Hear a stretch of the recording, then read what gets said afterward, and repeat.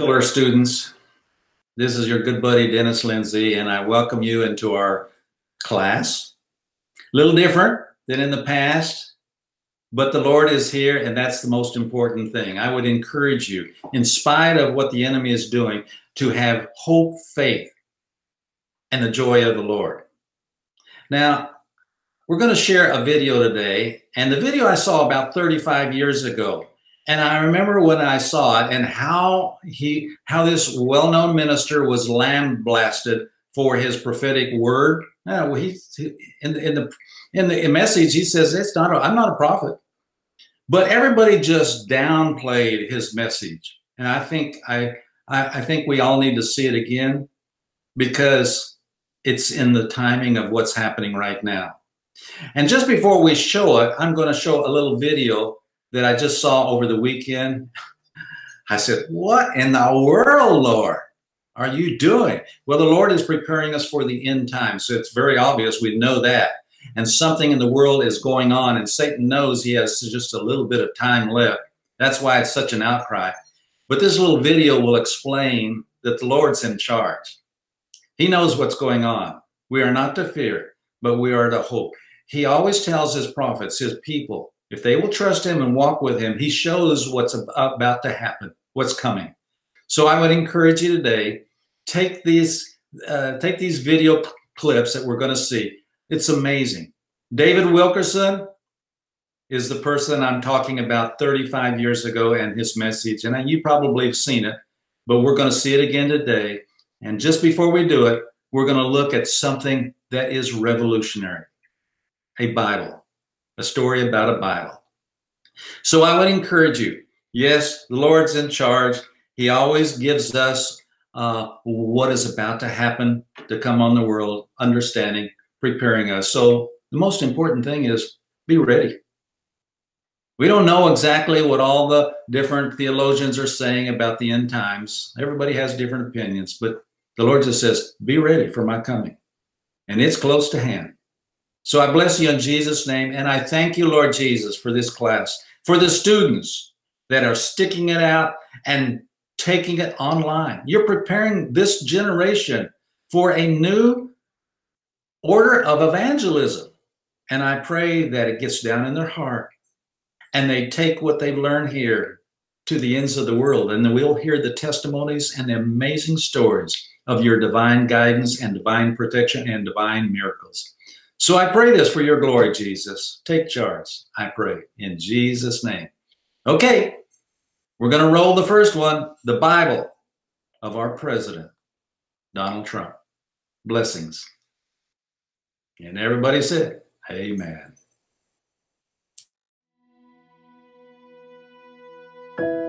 There was a great revival in the Hebrides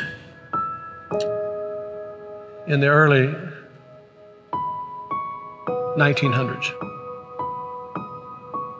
Began to move, moved up to the pleading for it into the 40s. Maybe we could say it topped out in the early 50s. Two old women, one was 84 years old and one was 82 years old. One was blind and one was humped over so badly with spinal stenosis just, just arched over but they had passion for revival. They wanted God to work. This, this is what happened. They couldn't even get out to the church to pray. They couldn't even get out to the church to worship. Their house became a place to meet. People came in. They got so passionate about revival coming to the, their Isle, the Isle of Lewis. They got so passionate about it. They confronted the preacher and wanted to know if he was thoroughly right with God. And they prayed and prayed and prayed. And they'd seen the Lord, they said, with the church filled up and God blessing, a great overflow.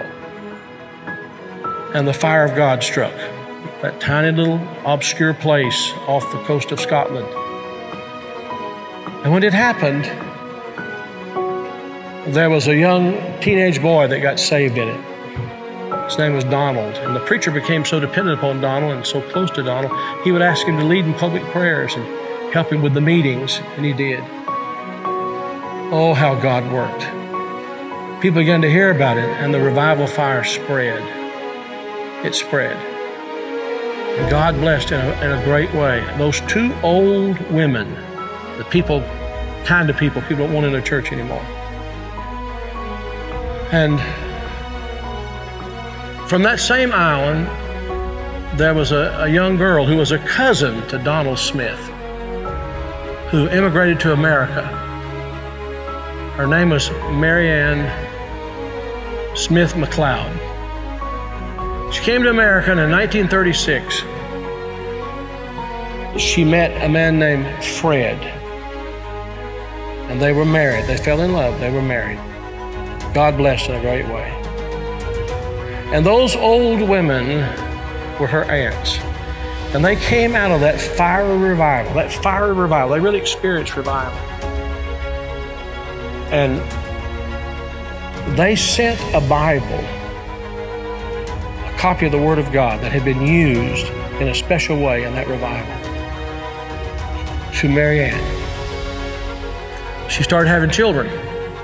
I think it was 1937 she had her first child. They named him after his father, Fred. Then she had her second child, named after herself, Marianne. Then she had her third child, Elizabeth. Then she had her fourth child, and she was so impacted by this teenage boy God had used in that revival of the Hebrides. She named him Donald. And she gave him that Bible, the Hebrides Revival Bible. He was born in 1946. He's now the 45th President of the United States. And that revival Bible is in the Oval Office.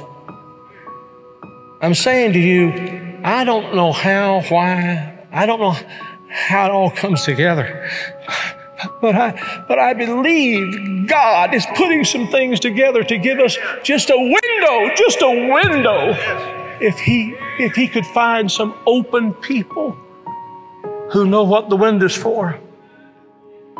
Can this be the time the window's open? Providentially, God has prepared the moment and we will become the people of prayer pleading with God. This is a plea. Will thou not revive us again? Will you, will you, will you be a part of that? Will you?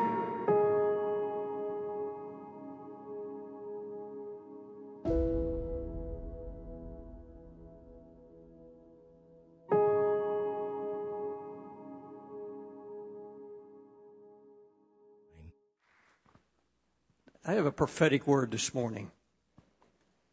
Uh, it's been quite a while since the Lord has entrusted me to bring a prophetic message, but this is very strong on my heart. I want you to turn to Isaiah 24.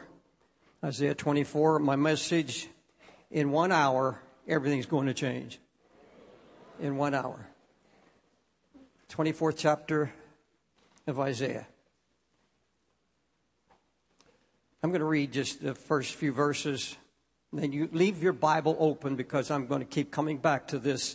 It's the prophecy is all here. It's not my prophecy. It's uh, it's the Lord's prophecy given through Isaiah, his holy prophet. Behold, the Lord maketh the earth empty and maketh it waste and turns it upside down and scatters abroad the inhabitants thereof. It shall be as with the people, so with the priest, as with the servant, so with his master with the maid, so with her mistress, as with the buyer, the seller, as with the lender, the borrower, as with the taker of usury, so the giver of usury.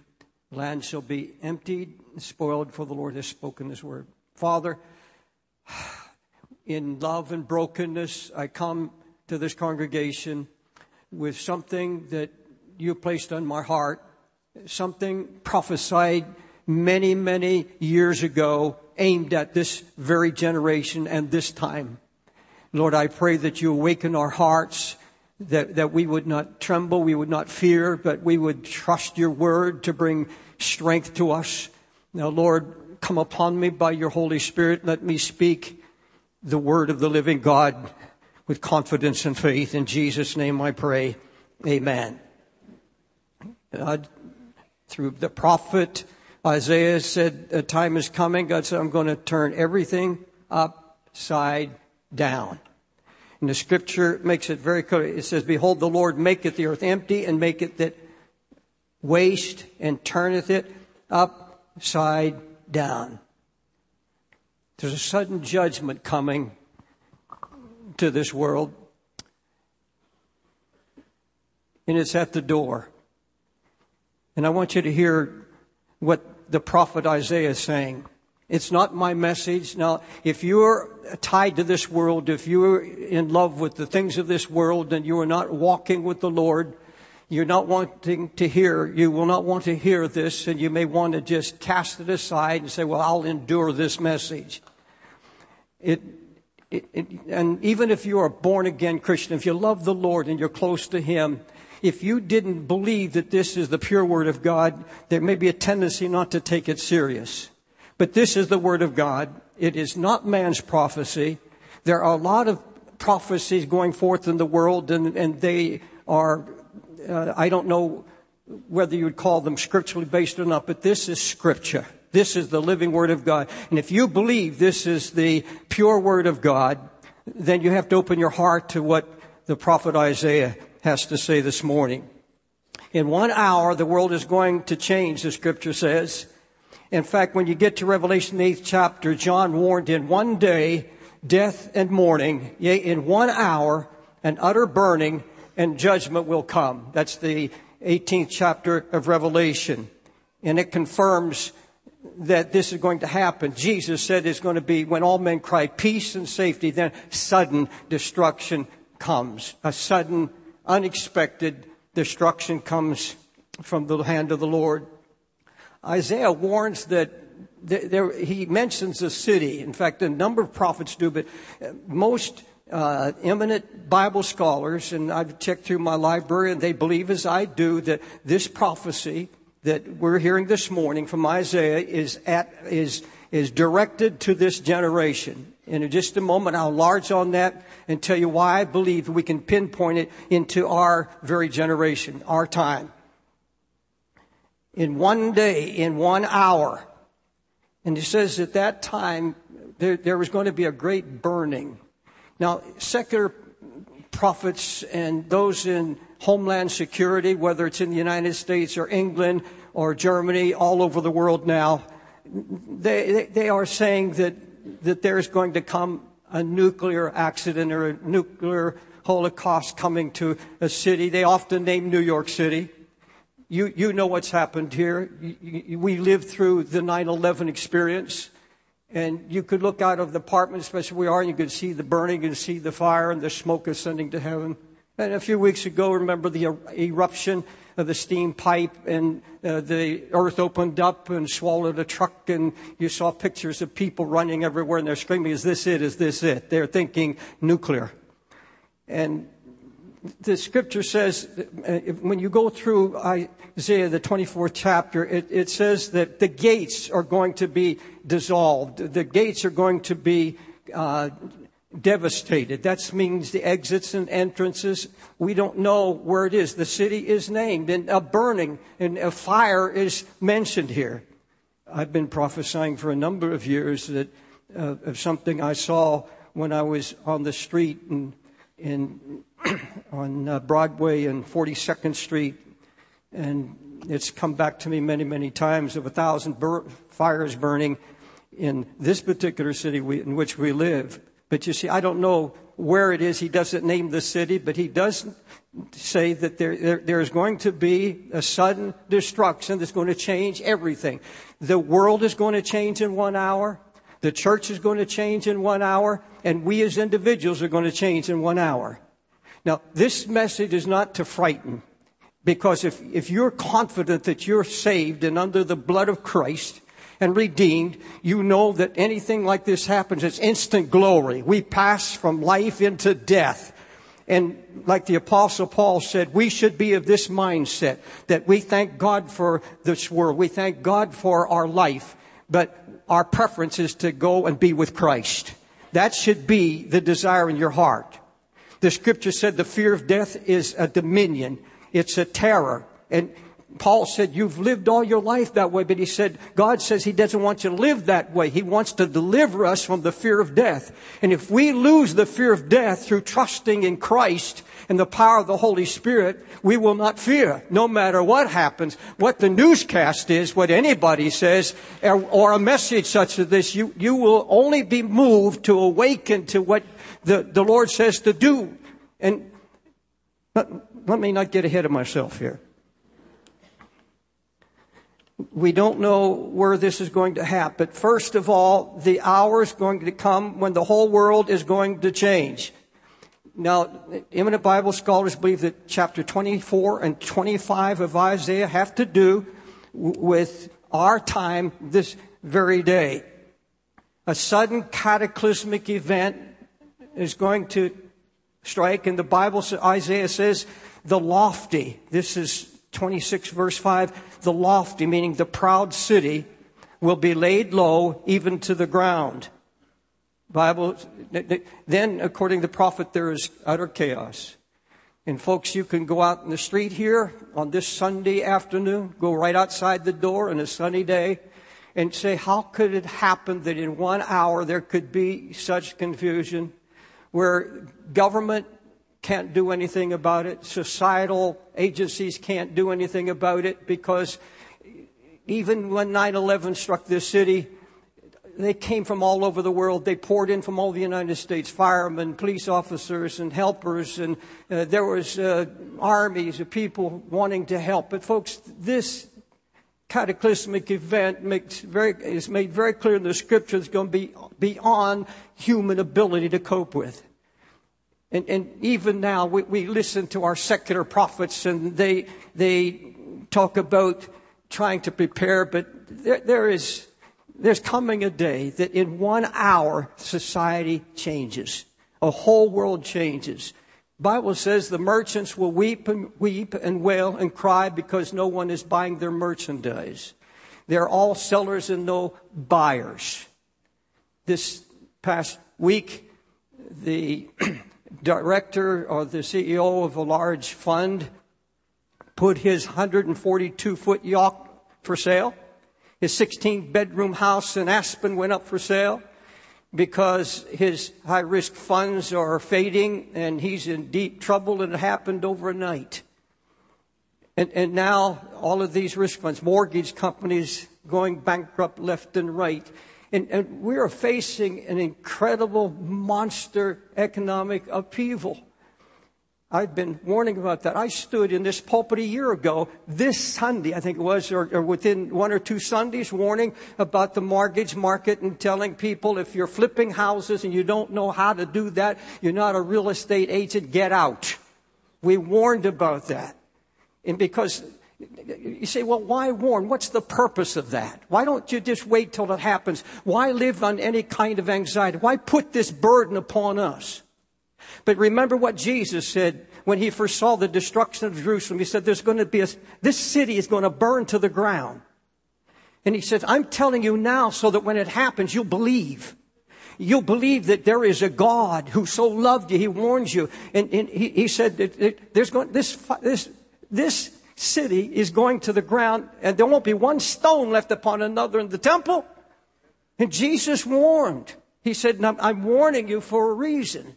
So that when it happens, when you see these things come out, you'll understand that you were loved. And, and Paul the apostle, when he's talking about the sudden destruction, he called that information light. He said, you're members of the body walking in light. You're getting Holy Ghost insight. He said, You're not in the darkness. You won't walk in darkness. So that when these sudden things come, and, and there's panic all around you. There's going to be something happen to you by the Holy Spirit. There's going to be something that quickens you and say, well, my God warned me. There were true, two word, true words that came forth from the pulpit and we were, we were warned. Even though in this day of prosperity, nobody wants to hear it. I don't want to hear it. But folks, it is here, and I'll tell you why this message is being brought forth this morning before our close. He said the dreams are going to fade. He, he goes on to say that the music is going to fade, of, of the zithers or the guitars, and, and the, the, uh, there's, there's going to be such a change. Everything is going to change in this world in one hour. If, if there were a nuclear attack on Jerusalem or Tel Aviv, any city in Israel. I told you about the Samson option. And, and they have such a radar system, they have such protective uh, equipment that as soon as a missile's released toward Israel, within moments, they have about a minute, maybe a minute and a half, according to some experts, and retaliatory missiles would hit and strike and wipe out every enemy of Israel. Folks, I'm going to talk to you in just a, a moment about why I believe that the, the, the prophet Isaiah is talking about our day. First of all, by the growing number of prophets warning of an apocalyptic moment coming. Now, when I talk about prophets, I'm not talking about just church prophets. I'm talking about secular prophets.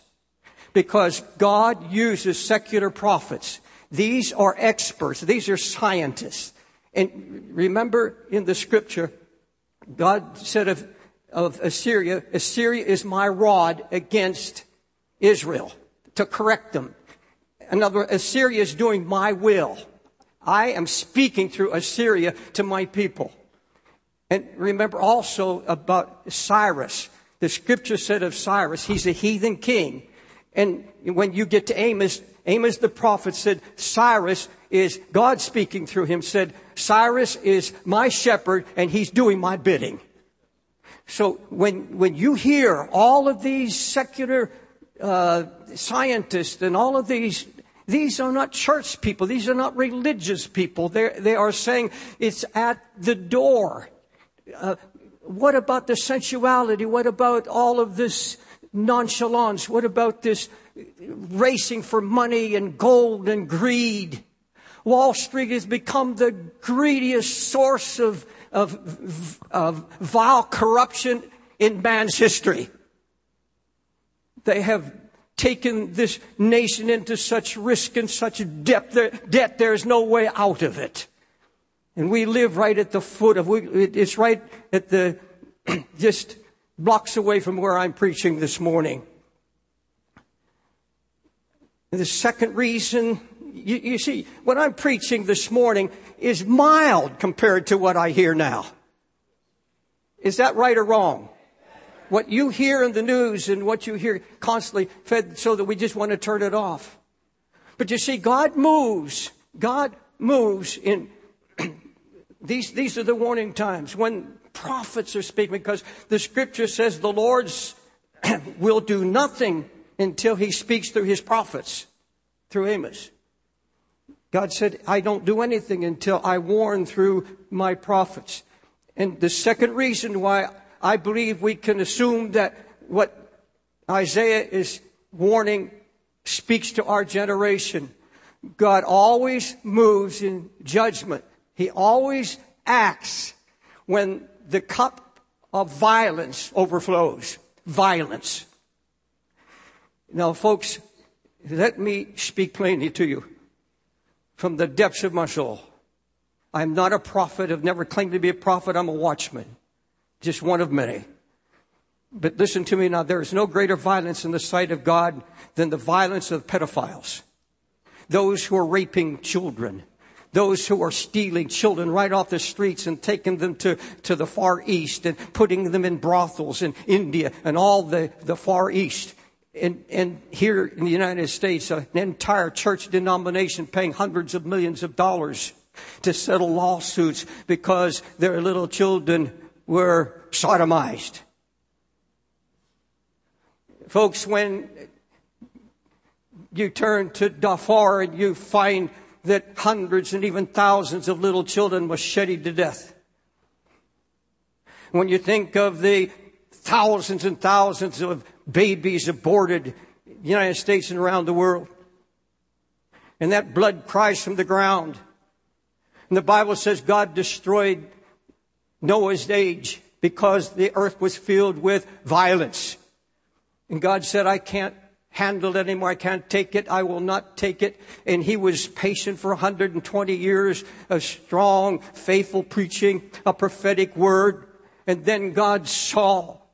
And folks, I believe now, think of the, the murdering in our schools, the, the terrorizing of our children.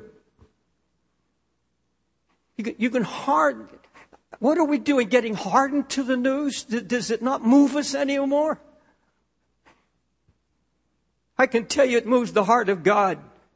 And I believe that blood cries from the ground. How long do you think God will endure? How long do you think God will put up with, with this? Even here now, on the internet, a pedophile is taking pictures and, and telling pedophiles where to go to find the children where it's easiest to pick up a child. And he's allowed to do it and can't be stopped. Folks, that's all going to change. This is all going to change in one hour. Secondly, sudden destruction when it comes, is going to change the church. In one hour, the church is going to change. It's going to change dead churches. It's going to change live churches. The prophet pictures a great shaking as though God took an olive tree that had already been harvested and he begins to shake it. In other words, there, has been a harvest, but there's still, God said, I'm going to shake everything that can be shaken. I'm, I'm going to turn everything upside down, according to the prophet. In this time of shaking, though, something is going to happen that's so incredible. If you have your Bibles open, I want you to go to verse 14. Now, before you do that, don't get ahead of me, please. Look this way. Now, remember, this is a time of, of cataclysmic devastation. This is a time that's so incredibly dark. This is a time of fire. And in the middle of that, what about God's people? What's happening in the church? The apostasy is going to change overnight. Everything that we see that is wrong in the church of Jesus Christ is going to change. But in the house of God, there's going to be a revival. And I want you to see it, folks. And if you, it, it, this, when I, I saw it and began to pray over it and began to study and do my research on this, see, this is not, I didn't get along with God and pray and say, God, talk to me. Put in my head what's going to happen. I have people all over the world, wherever I travel, say, Brother Dave, you speak of prophetic. What's, what's next? What's coming? I said, I don't know. I don't know. I'll go to my Bible. If God speaks it through His Word, then I believe it and then I'll preach it. So I see this and it makes me shout. I know what's coming and you know what's coming, but folks think God's interest is in His church. In the church of Jesus Christ, His overcoming church. And the Bible said in the middle of this, there's going to be a song rise up from the islands of the sea, from the uttermost parts of the world, there's going to be a song rise up in the middle of all of this. Look at it, verse 14. Then shall they lift up, uh, uh, first, verse 13, when thus it shall be in the midst of the land among the people, there's going to be a great shaking. What's happening during the shaking? Verse 13, verse 14. Then they, in other words, they shall lift up their voice, they shall sing for the majesty of the Lord. They shall cry aloud from the sea. Wherefore glorify you the Lord in the fires. Did you hear it? there should be an amen coming from the glory of your soul because in the middle of the fire, God's going to have a people who are not in panic. God is going to have a people that are going to praise the majesty of Almighty God. He said, in the fires you will sing. There's a song coming to the church of Jesus Christ. Folks, we're not going down, we're going up. We are going up. There shall be a song in the midst of the fire. Verse 16, the, from the uttermost part of the earth have we heard what? Not weeping, not groaning, not murmuring, not complaining, not agonizing. That you hear a song coming from China, and then you hear it from India, you hear coming out of the tribes of Africa, out of Darfur, out of every nation. It's coming from every island of the sea. It's coming from the United States and Canada, South America, the whole world, for the uttermost part of the world. I hear a song, the prophet said. I hear a, I hear people who are facing calamity. I hear people that uh, seemingly have no hope, and there's a song. There's a choir. We heard over 150 voices here this morning singing. Can you imagine the great sound that was coming out of the 150? Can you imagine millions and millions of people around the world singing the song when this hour comes? It's coming in the darkest time of all. I, I, I believe that, that something's going to happen among our youth, especially college students. Do you understand that for, for the past 10 years especially, our children, our young people are going into colleges and their faith is being robbed? that ungodly atheistic teachers and professors have our young people as prisoners for three, four, five, and six years, and they keep bombarding them till there's no faith. They, they leave believing there is no God till like in Sweden, 80% of the people now say the population that there's no God, don't believe in God. 20% believe in God. And many, many students. And folks, I believe that's going to change because in one hour, when everybody is waking and when the world is shaking and trembling, those professors are going to be looking for somebody to give them a word. Prosperity preachers are going to get their Bibles out looking for something to say to the people saying, what's happened? Why didn't you warn us?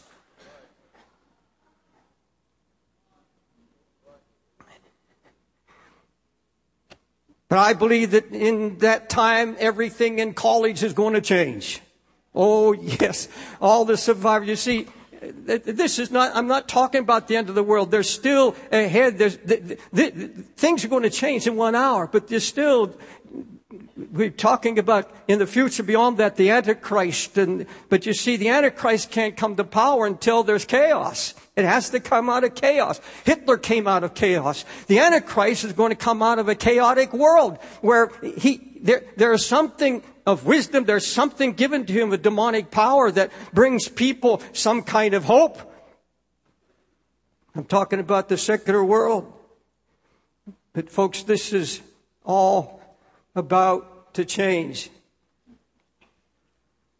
Now, the Bible says we as individuals are going to change. In one hour, we're going to have our focus in life changed. Our entire focus. We will no longer be obsessing about our own problems and adversities. We won't be, we won't be focused on me. We won't be focused on our problems. As serious as they are and, and as challenging as they may be, God, it's very clear. This will not be our focus. That's all going to be changed. Everything that was once dear to us is, is no longer going to have value. It's it, other than those things that are, are of the Spirit and of love and of Christ. Things that we held dear are, are going to be held and absolutely are going to vanish. By this, meaning the calamity, shall the iniquity of Jacob be purged when he turns all the stones into dust. This is Isaiah 27 9. He said, I'm going to take all the idols. And he said, by this, in other words, this great cataclysmic event is going to bring down all the idols. All the idols are going to be crushed to stone, is what the Bible says. Here's the promise from the book of Isaiah, 27th chapter. He said, In that day, all the idols will be trampled to dust. They're not going to, the last thing the world's going to be talking about is sports. I have nothing sports. I like sports. I'm a football fan. But you know, the Bible says uh, it's going to be. They're not going to be any more $250 million settlement for these people in a starving world. He said it's all going to change.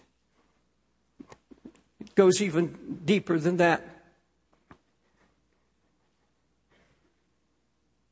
Let me find it here in the scripture. It shall be, here's where we're going to be in a level field. Listen to this very please. And it shall be as with the people, so with the priest, as with the servant, so with his master, as with the maid, so with his mistress, or the buyer and the seller, as with the lender and the buyer. Everything will be brought to a same level.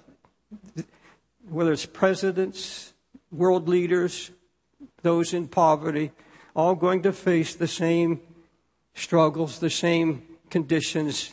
Nothing will, there'll be no respecter of persons.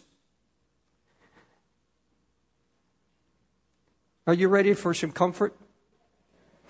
I said, Are you ready for some comfort?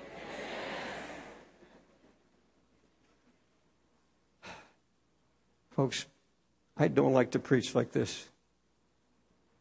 For the last six weeks, I've preached nothing but grace. I risk people getting mad. Every time I've had to preach much like this, people leave. But one day I'll stand before God.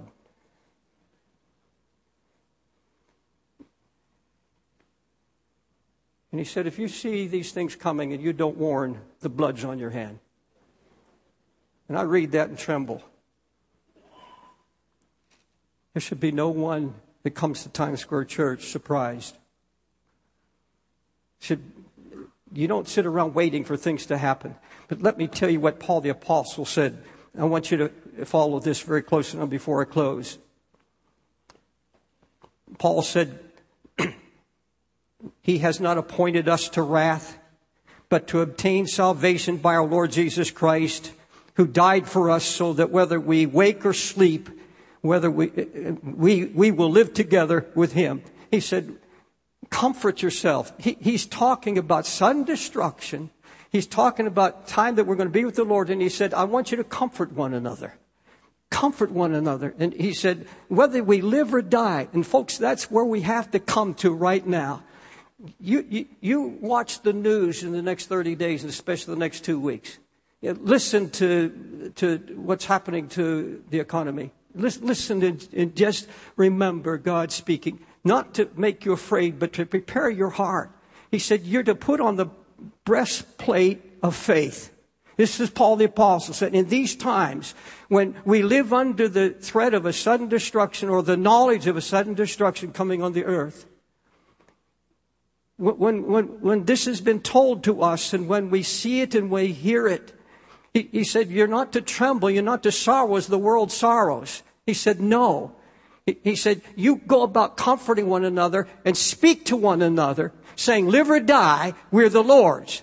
Now it comes down to this. Going to your friends, going to the body of Christ, went after them and shake hands and look right in the eye and say, live or die, we're the Lord's. That's what Paul said. You're going to encourage one another and say, we live or die, we will go and live with Christ. We are headed for eternal life in Christ. Folks, I'm asking God, and I, I more and more, you say, well, you can come to that because you're old man now.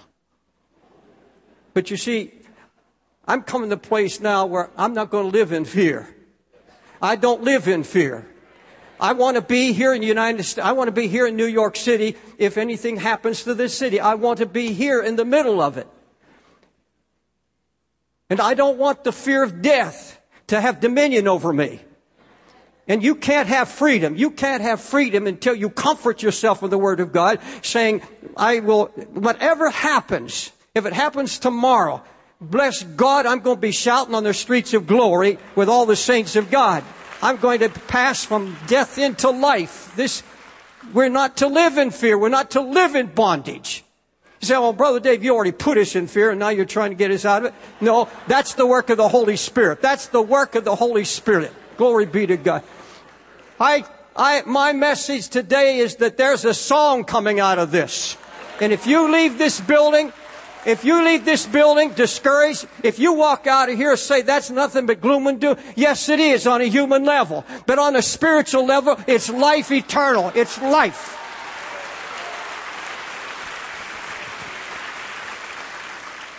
And I just have a secret thought in my heart. It's probably just David Wilkerson's thoughts. But I have a feeling just as before 9-11, the Holy Spirit moved in this church and other congregations and warned us. There were moments of silence, sometime 15 minutes we sat in this church just before the blast and God was speaking to us not to be afraid. And I, it's going to be different this time. I believe that if something is going to happen in this city or wherever it happens, the saints of God are going to be quickened by the Holy Spirit, and there's going to be some singing and shouting and praising of God to encourage the body, to strengthen their spirit. Now get up on your feet.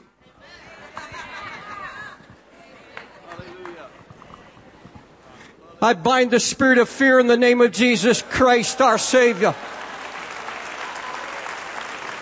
He's not given us the spirit of fear, but love and power and a sound mind. Folks, I've got the Holy Ghost all over me right now. I have the Holy Spirit upon my soul. He wants to come upon you. The Holy Spirit wants to quicken you. Take the fear out of your heart. You young people that are in the choir, the young people that are listening to me right now, there is a future. There, the whole world thinks there's no future. Folks, this is just the beginning of our future. This is just the beginning of our future. Hallelujah. I feel good.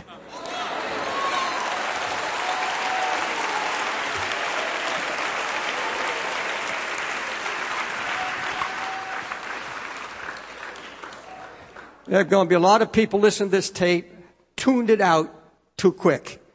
They turned it off. They should have stayed and listened to the praises and the shouts of God's people in this house. Hallelujah. There shall be a song.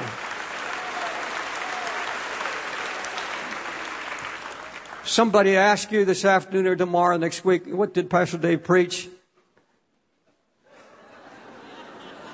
You see, revival. A song in a hard time. And I've got to say this in closing. Listen very carefully, please. You're to sing in your present fire, in your adver- ad- adversity, in your hard time, financial, whatever it may. You've got to get a song. You say, Does God expect me to sing? I don't care what it is. There should be that little quiet. There's something very quiet and steadfast in the soul that sings, Great is our God.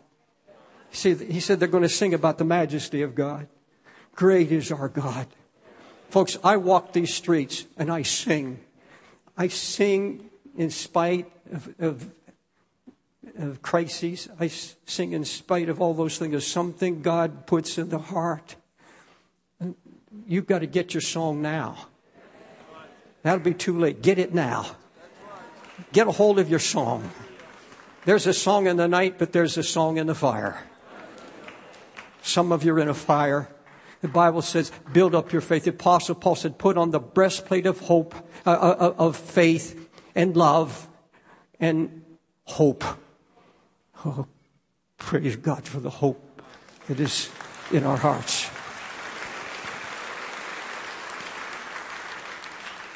Now, we have a, a space here in the front of the church. We, we refer to it as the altar, another place to meet God. And I invite you, if you're here this morning and God has spoken to you, you see, uh, God's not interested in you changing your life through fear, but through hope.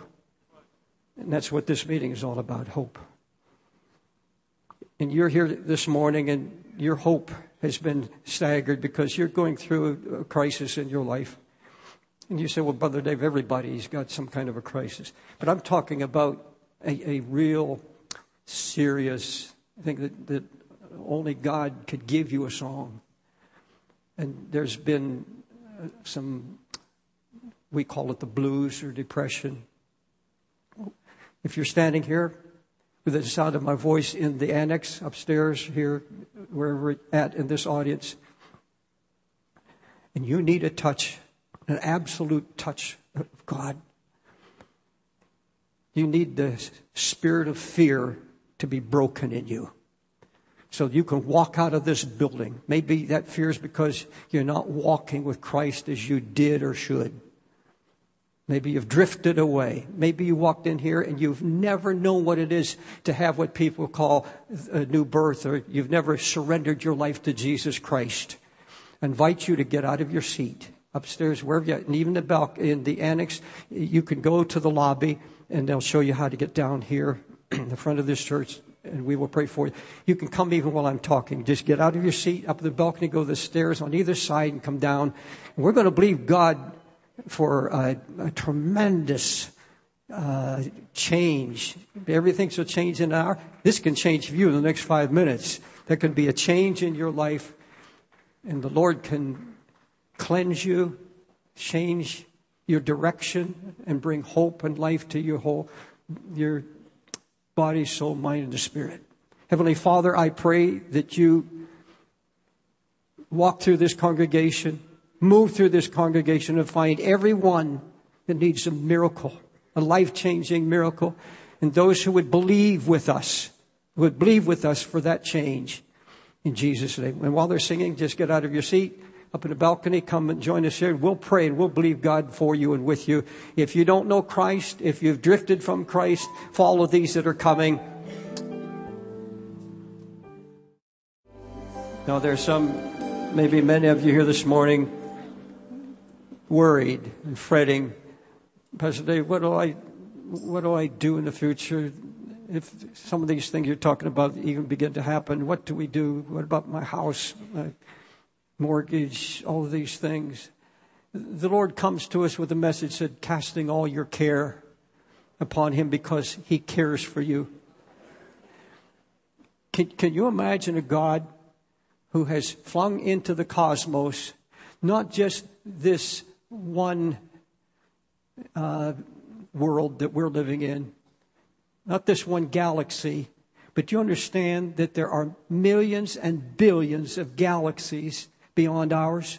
The, the Hubble uh, telescope has discovered not just uh, billions of, they're talking about billions of universes. Can you imagine? Endless. And a God who can keep all of that in order. Can't He keep our lives in order? My goodness.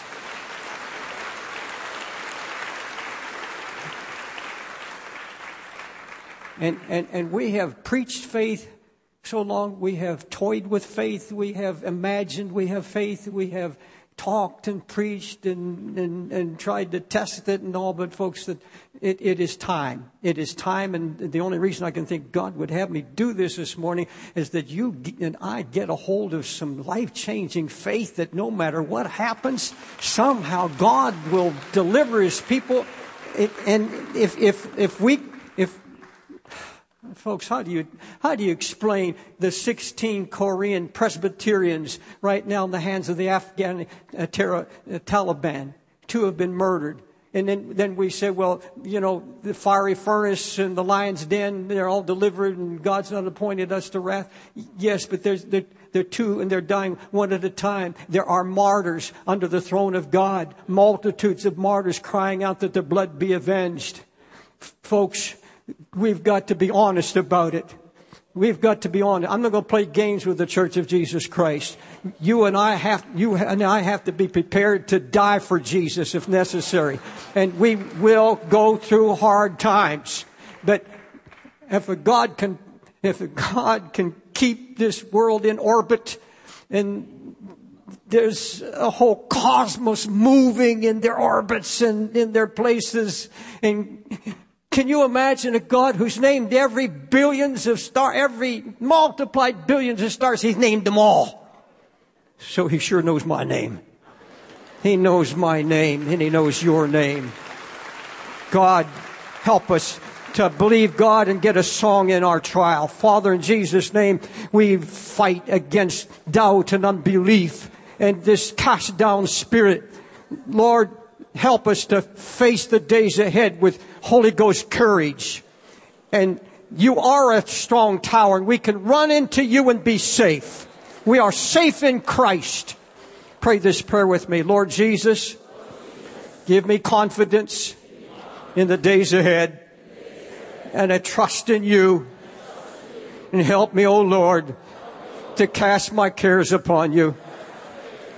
Forgive my sins, Lord. Forgive my unbelief.